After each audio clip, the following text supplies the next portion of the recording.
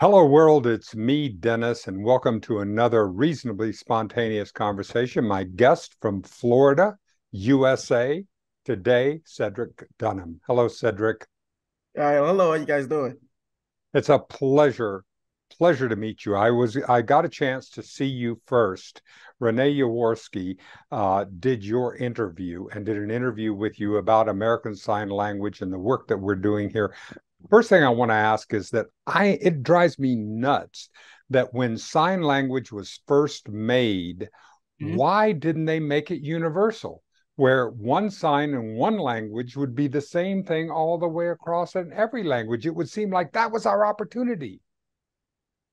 Right, right. I get it. Well, I, the thing is, um, it, it originally started in Canada and then passed on in America, right? Now, I'll say this: we uh, we know every country does not speak the same language as us.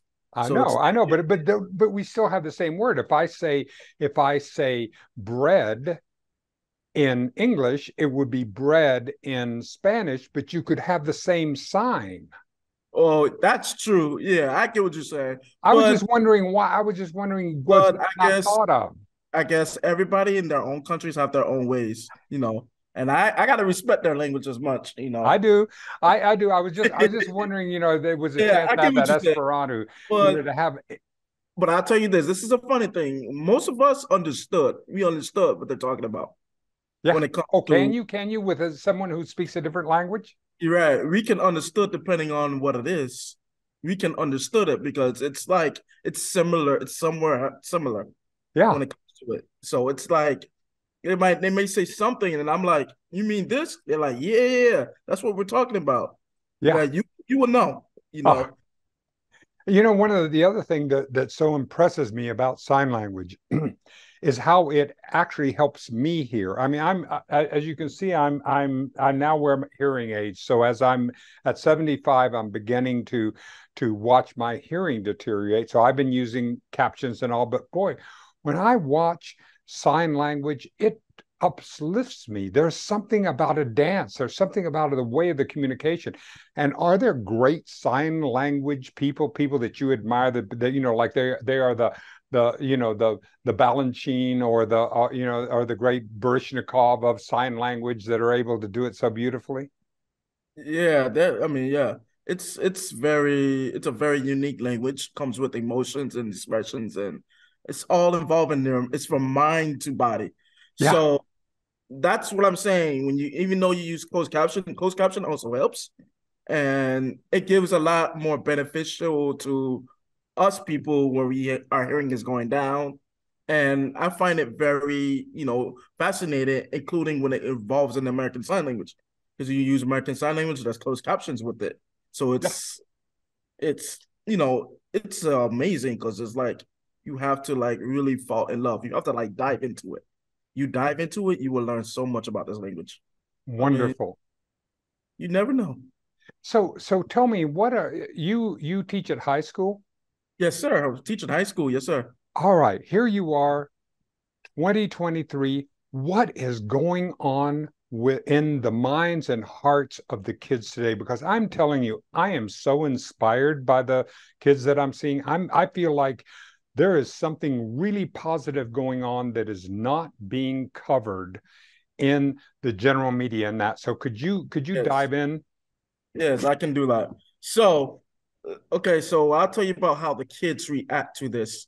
Um kids most of my kids are learning it a lot. They come and socialize with all the deaf people. They're very like they're like you know mr dunham how do you sign this? How do how do we approach that? How do we do this? How to do this? And I give them those feedbacks. And when I give them those feedbacks, I show them that I'm like, hey, this is how you do this, this is how you do that. And I explain it details by details.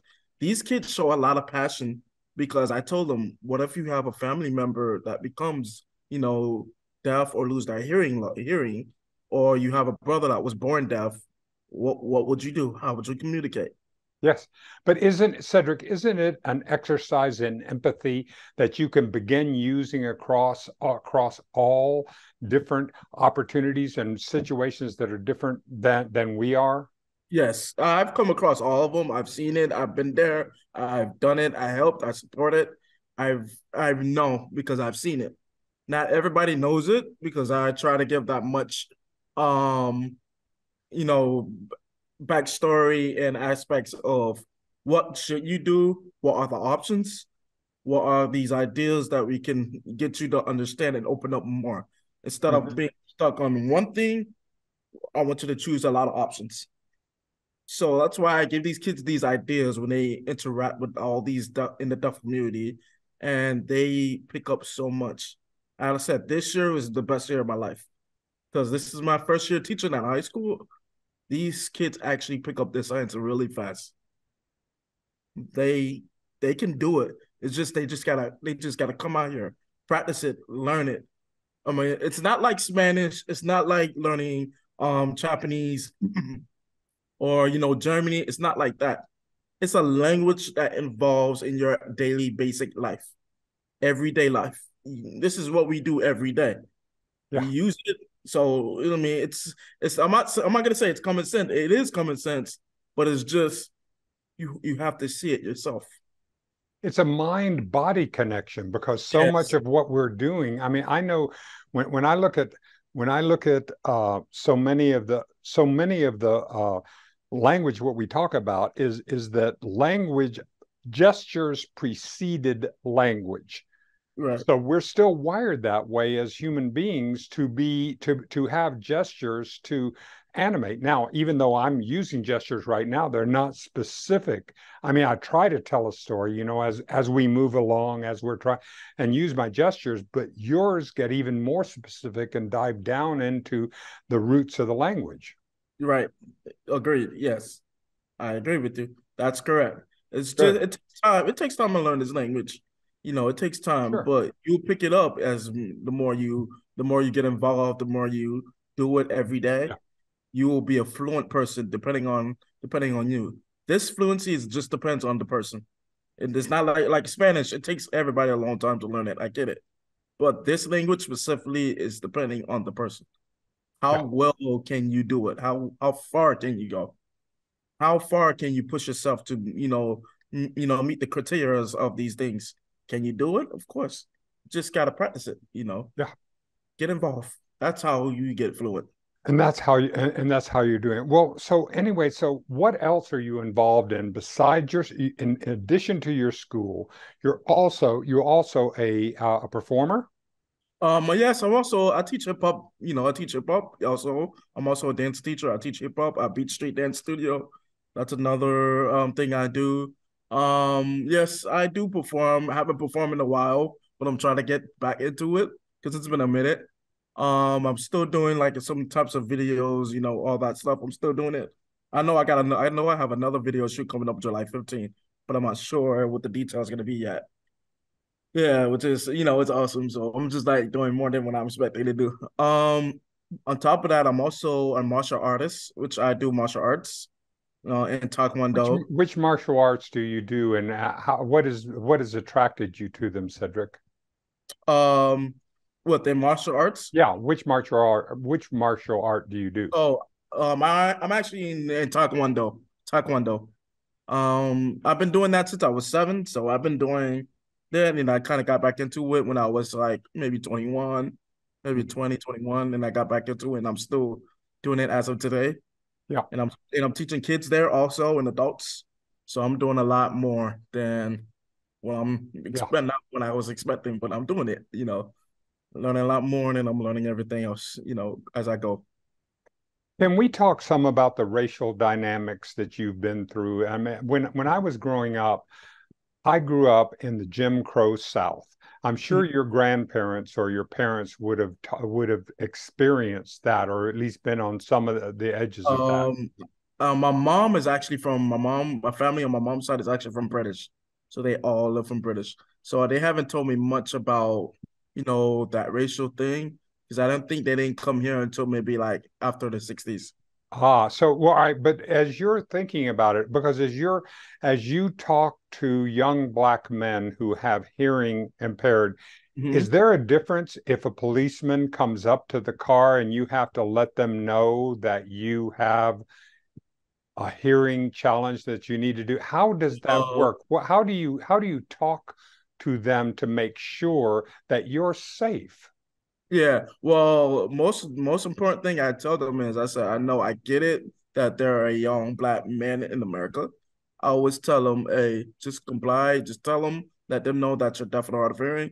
I can tell them is just put your hands up like this and go like this. Just put your hands up, don't do anything, just go like this. As long as they, as long as the cops can see it, they're like, okay. I tell them, pull down the, just roll down the window, keep your hands up, and just go like this. Or put your hands on the wood and go like this one hand on the wood, one hand on the ear.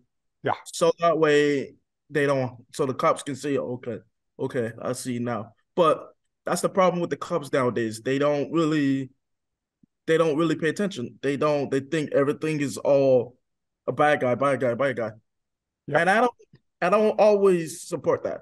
And I always try to, and I was meaning to talk to most of the police departments, which I did talk to last summer they were supposed to call me to um you know to educate some of the police officers, which I'm still trying to follow up with them about it.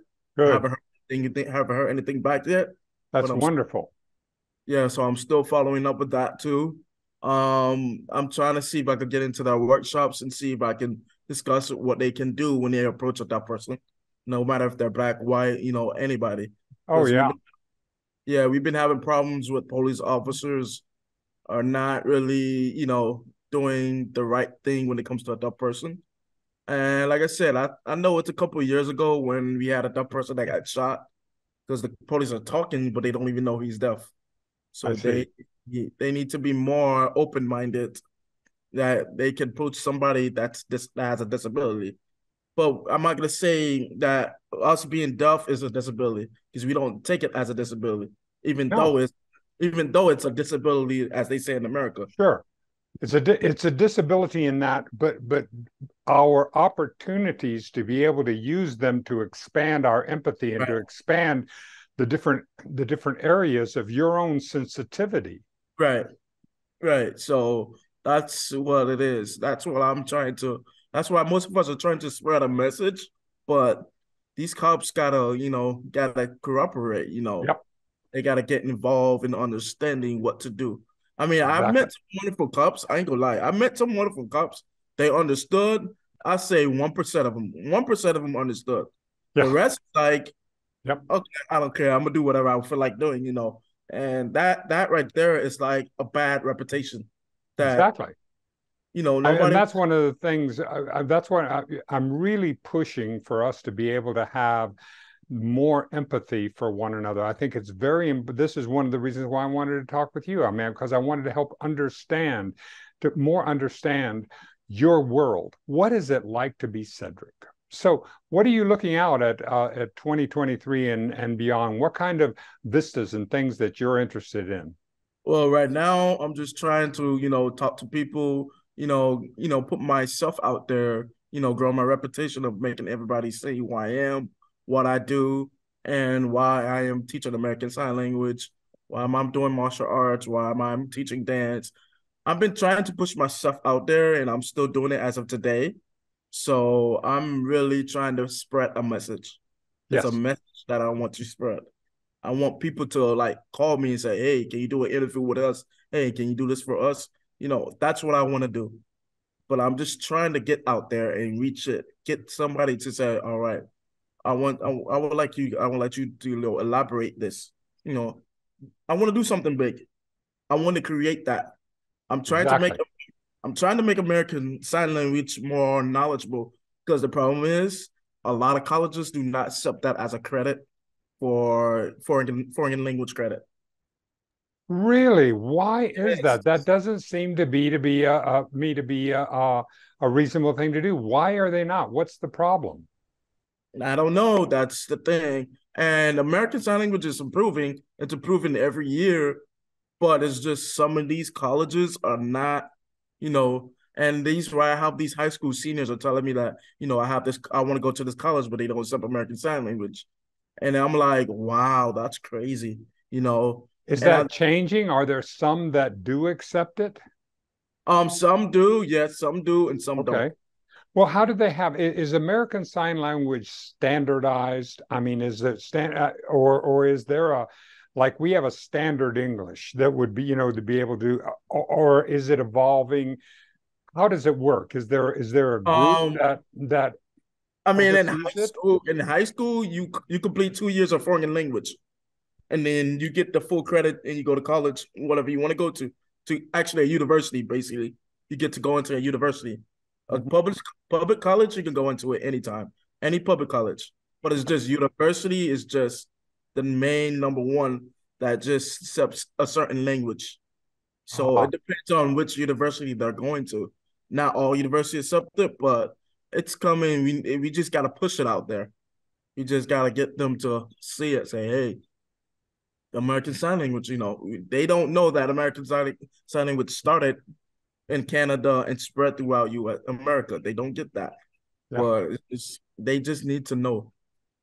You know, what else is going on in your life, Cedric? That that, um, fun or amazing and and part of your your own renewal and excitement. All right. Well, at this point, I'm actually, you know, in my life right now, I'm actually trying to, you know, do more TikToks, spread, you know, teaching science, do, you know, education through TikTok, and um, getting everybody to learn a lot more through TikTok. Um, I'm hoping everybody can find me on TikTok and learn from me. Um, I'm also trying to, you know, be working with more kids during the summer. It's about to be summer, so I'm trying to spread my message with the little ones also. You know, that's that's part of me working with kids and spreading my message comes together as a one whole, you know, like a speech, you know. But I'm actually, you know, improving, improving myself to do the little ones enjoy it? Did the little ones enjoy uh, starting to learn the sign language? Oh yes they love it. And it actually helps them more because it helps them more with communication and that interacting more you know and it helps. It helps. And that's what these kids need to, these days. They need more interacting more you know get getting into that culture you know. It doesn't matter who it is and they just need to get into the culture in the classroom it needs to be a culture here where I need to see one one of them two talking, one of them two are becoming friends and having a conversation. I mean, I get that. I get that it's hard to work with pre-K, pre-K kids, first graders, second graders, kindergartens, you know, especially the ones that are autism. Because I used to work with autism kids. They're awesome kids. They're very smart. Like I love them, but I get that some of them are struggling with communication, as in speaking. Right. So what I do is I teach them a sign language. I say, hey, you want water? They go shake their head. Yes. I'm like, you want food? Yes. And I sign it because that helps them get better. That helps them. So as I'm of course, working- it's another way of connecting because it's not a passive activity like reading. You actually have to go and have some kind of a motor skill coordination, which would take me away from the concern. I'm, right. I'm just riffing here. You tell me if I'm close, but it, but if if in language there's a certain part of the brain but in in the physical kinetic, kinetic part it would take it a different route that would allow me to express it. Is that does yeah, that at all expressing yeah. Yeah it allows them to express. Yeah exactly. I'm giving them that extra you know that extra you know skill.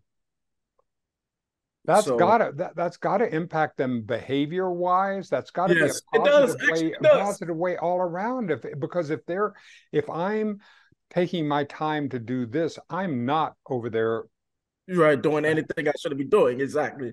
So they're taking the time to communicate. They're taking the time to open. Now they're starting to open more. So these how this is how I teach these kids. Once they start open more, they come to me and give me a hug and they say thank you. And they even sign it. They say thank you. And I'm like, yes, thank you, right there. I'm like, yes. You know, so that's what I'm trying to do. I'm trying to teach people to do more. There's you cannot limit yourself. I don't like to limit myself. I like to do more things. So what a beautiful way to teach world peace through the sign through sign language and a way of connecting one another. You've really made me a fan. I can see how how valuable this would be to kids as they were getting into it, and and then we can spread that from there. Mm-hmm. Yes, definitely then that's it's always gonna start. I mean, I can start from the bottom and move it back up to the top. No matter what, I can always start from the bottom again and move it back to the top. I never give up. I always say, let's do it this way. You know, I fight for it. I fight for them. I fight for these kids. I make sure these kids have anything they need. I'll make sure I fight for it. You know, and that's where I am coming up, how I grew up, you know, learning to, you know, accept one another, respect one another, support one another. No matter what anybody's going through, I'm always going to support them. And that's what I do with my high school kids, pushing them to be great, pushing them to take this language and use it in the real world. Because I tell them, you go to any job, it's always going to be that one special person that's going to show up at that job. They never know and that day will never ne- never know and so we we have to keep our minds open and keep keep our hearts open. Those are two things that we have to do in order to be able to really to make a contribution in this world. Yes and i, I always i tell them a good heart leads to a leads to everything you know? A good heart leads to everything. And that's uh-huh. why i that's where i just give it to them i say there you go. Use it that that that just inspired. Well, what what have we not talked about that you'd like to talk about today that I haven't brought up today, Cedric? Um, I want to talk about uh certain things. Let's talk. I want to talk about certain things coming from AS American learning about learning American Sign Language. When anybody's learning American Sign Language, even if it's online, make sure the resources are the correct, you know, the correct pe- people because there are some people online that are not showing you the right signs, the right ways of learning American Sign Language, because that's not how you learn American Sign Language. You know, you know when it comes to things on you know social media, and you have to find the right people with the right resources.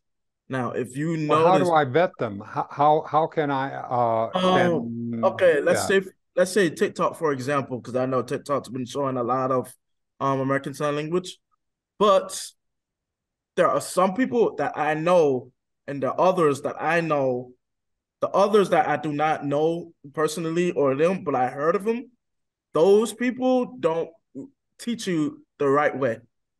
They show you, they may show you, but it's not the correct way of saying it. How do you vet someone to make sure that they are teaching me the right signs? So um, you can, like I said, if you know anybody, depending on where you live, if you know anybody that knows American Sign Language or somebody that knows American Sign Language, I suggest you get to them, get in contact with the people there. Um, there is a website, I believe it's called ASLTA. I think it's it's a American, it's something with ASLTA as a teacher association. You can mm-hmm. also call them to get get in touch with them about it and see if they can tell you. But there's always a website resources you know, resources Got for it. that. You know, you can type in YouTube and say, what is the sign for this? Now, when you see that, you will see people that actually show the strap of showing it the right way. All right. So that's how you would know. You would know if you feel something is not right, you would know. Right. Can you see can you see an AI uh, an AI being able to to to translate sign? I mean, so that I would be able to talk into an AI and then it would be able to, it would be able to give back to be able to see. So I would be um, able to see it.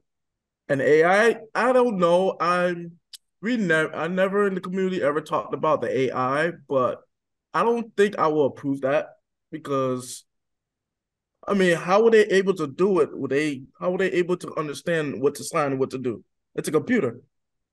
Yeah, well, we'll see. It so many things are changing uh, so right. fast, uh, so we'll see how they are. Cedric, thank you so much for coming on today.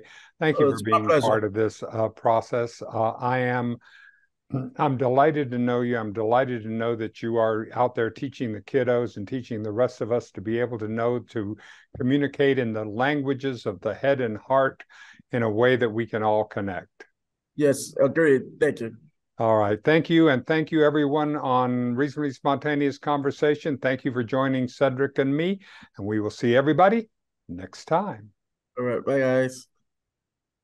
This episode of Reasonably Spontaneous Conversations has been brought to you in part by In Search of the New Compassionate Male. For more information, go to newcompassionatemale.com.